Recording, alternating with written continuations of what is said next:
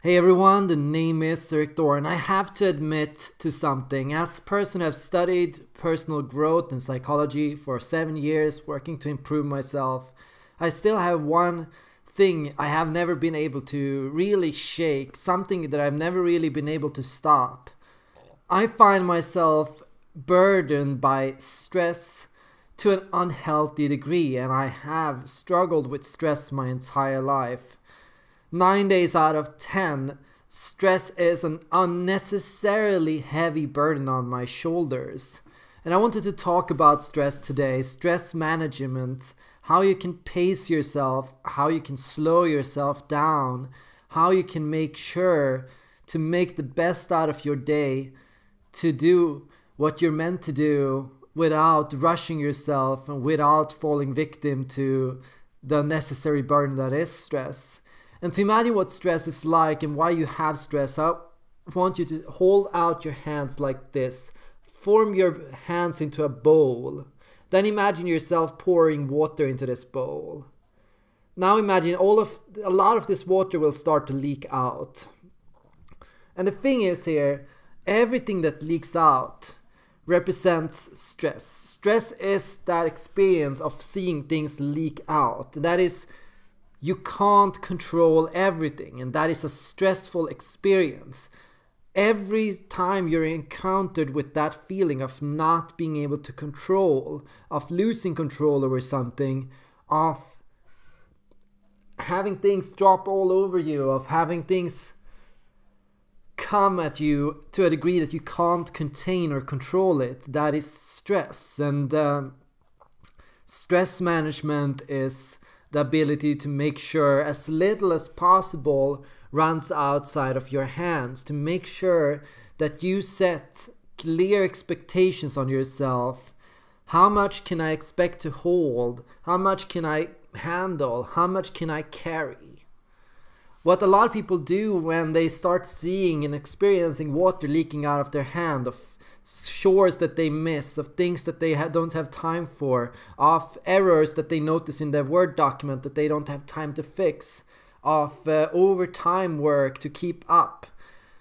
That is just experiencing more and more water pouring out of your cup. A lot of people make the mistake they pour more water to make sure that it, they keep up with it. Okay, I'm dropping a lot of water right now, but if I pour more water, then at least I can hold on a little more. And that is how most people today handle stress.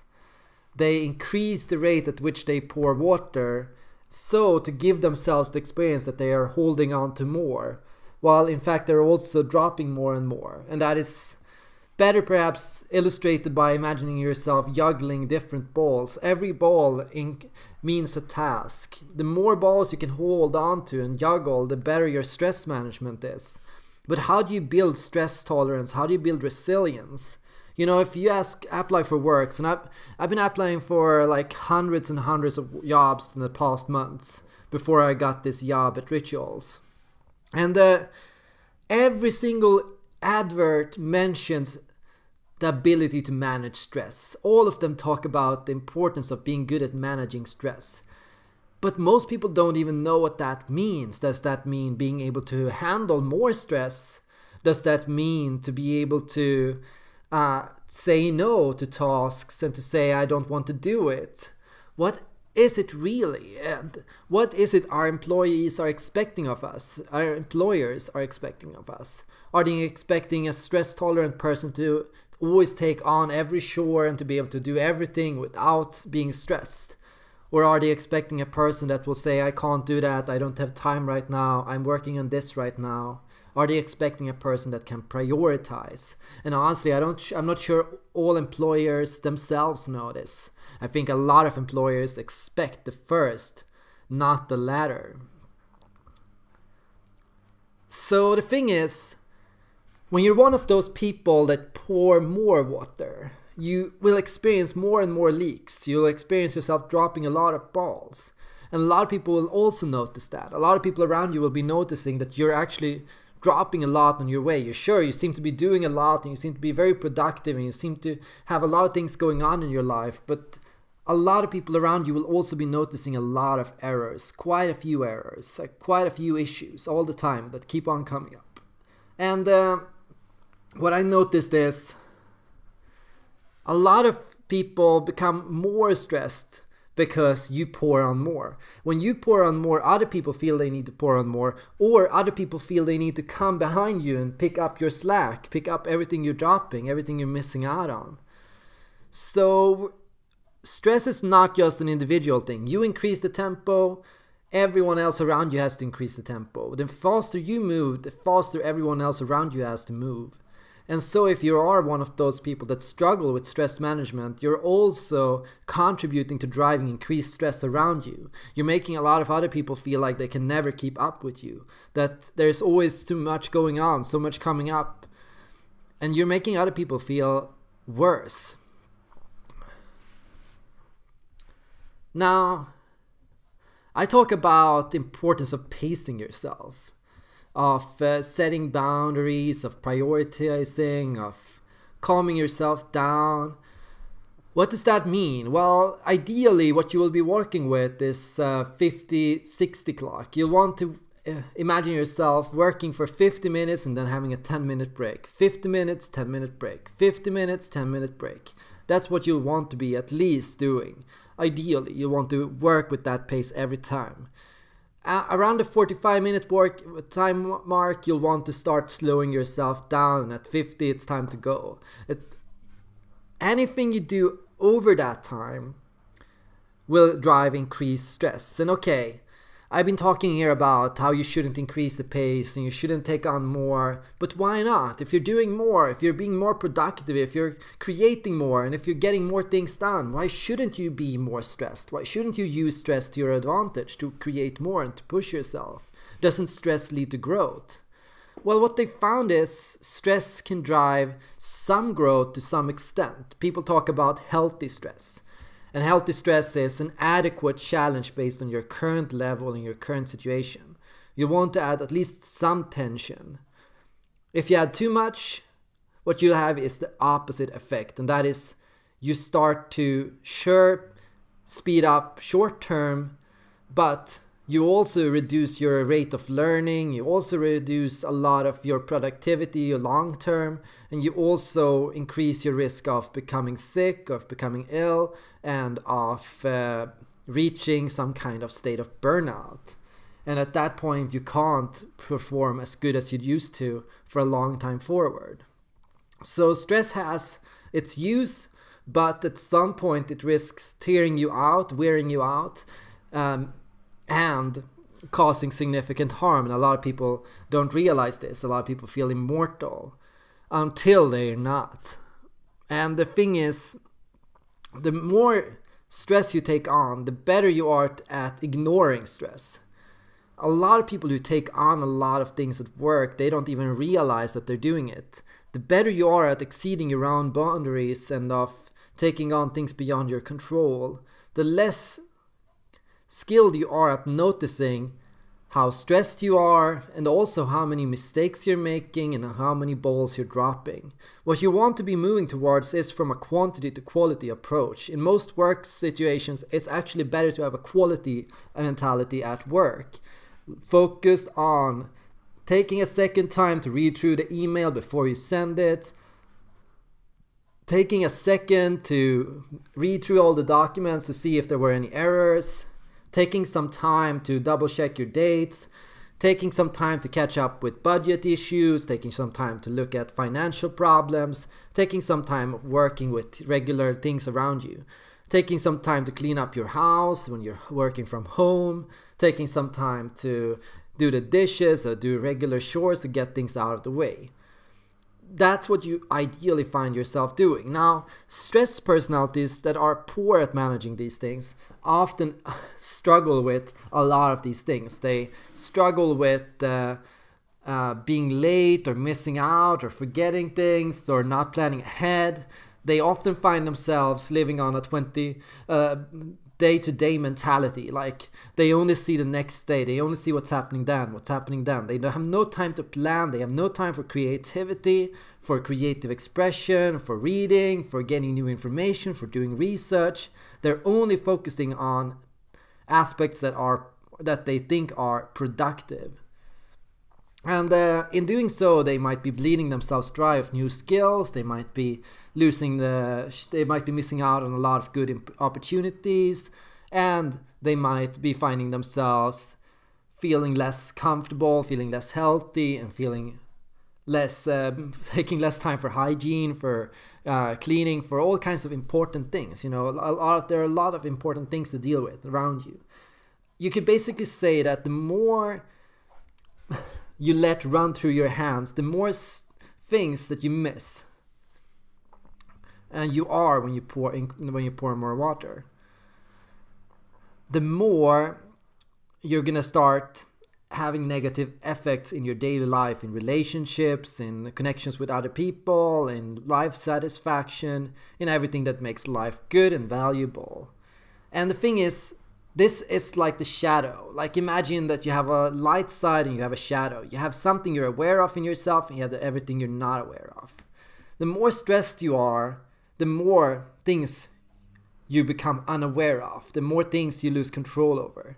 Stress is the feeling of losing control. Stress can feel like control, but stress is only control to the extent that it gives you some kind of satisfaction or relief when you're able to get a task away from you, when you're able to complete a task. It's only the relief that I've completed one of these tasks.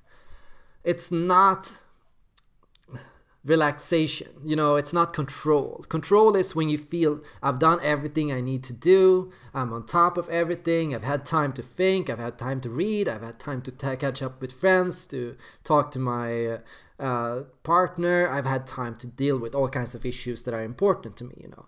Now I can relax. Now I feel in control. Now I know what's going to happen for the next week. Now I have my schedule. Now I know. Like, control is the opposite of stress. Stress is the opposite of control.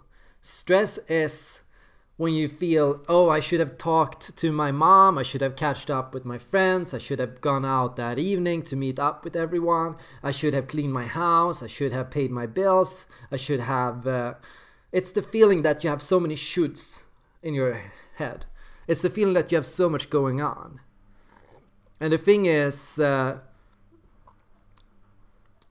people who have a lot of stress they also reduce their long-term learning and their memory. They might remember things in a short term, but they're keeping it in their working memory. They keep it in their head all the time. They're not using their memory. They're not using. They're not thinking long term. They're just storing data short term for easy use, for quick use, for immediate access. And uh, that can come back to bite you. It can come back to bite you because at some point, maybe a few months from now, you might need the same skills. But a person that is very stressed will have forgotten these skills and will have to relearn them over and over every time they take on a task. Where a person that has some stress, but only to a healthy and manageable degree, only to the degree that, yeah, they can feel control. And so, um, for the most part, they say, yeah, I'm in control of most things that are going on in my life so they have time to dream and you know when you dream you remember you store memories you process experiences and it becomes easier. Next time it becomes gradually easier and easier and easier. And you can see this like a lot of stress personality personalities they're improving very quick in the beginning and they look like they're having a lead. And then the person with uh, the better stress management the person that prioritizes starts to slowly catch up. The stress type hits the roof at some point and they can't grow and they don't know how to hit it and they don't don't know how to get past it. There's a there's a saying for stress personalities that they hit the wall and that's when they reach burnout. And hitting this roof can feel like hitting this wall. At some point you don't improve in productivity and you keep on pouring more and more water and you keep on tr- uh, trying to hold on and juggle more and more balls and keep up with all the tasks.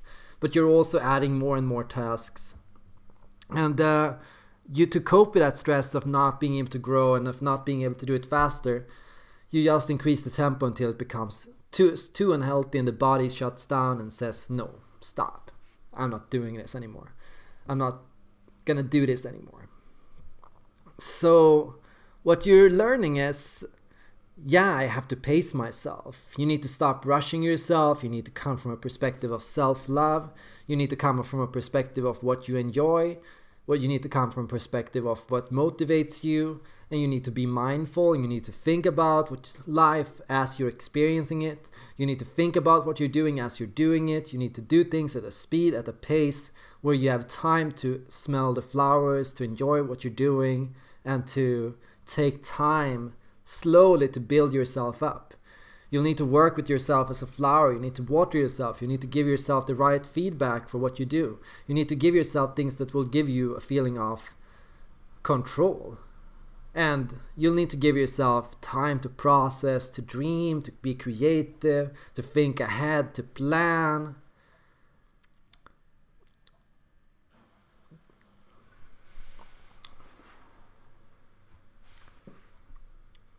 And you need to really work with stress because when you're stressed, you're not yourself. When you're stressed and you're listening to another person talking, you're not enjoying what they're saying. You're not enjoying the conversation. You're not thinking about what it means to you and how it relates to your experiences. You're thinking of what to say next. You're thinking of what you need to do. You're never present anywhere. You're always somewhere else. You're always rushing yourself and so you think you're living life as if you're only going to be 30 years old. I think a lot of people do that. They live as if they're only going to be 30 years old or they're only going to live for another day. Uh, I guess when you're stressed, that's what you think. You're only going to live until tomorrow. You're only going to live until tomorrow. There's only tomorrow. There's only tomorrow. You don't see the future. So you don't think you have a future and so you don't think you have to recharge and so you don't think you have to relax and so you don't think you have to take it easy and so you don't think that you have to plan ahead I would like you all to take a second now to leave a comment down below this video. Share your experiences with stress. What made you less stressed? What made you better at managing stress? What made you actually finally start to pace yourself? And how did your life improve once you started to pace yourself more? Once you started to stress out yourself less? Once you started to live life more? Once you became more mindful? Share your experiences and if you relate to this video and if you feel other people should think about this and watch this, Feel free to share it with other people. And always, if you want and if you like my videos, subscribe to get all kinds of content related to personal growth, psychology, and personal development. Thank you all for being here, and I hope to see you all in the next video.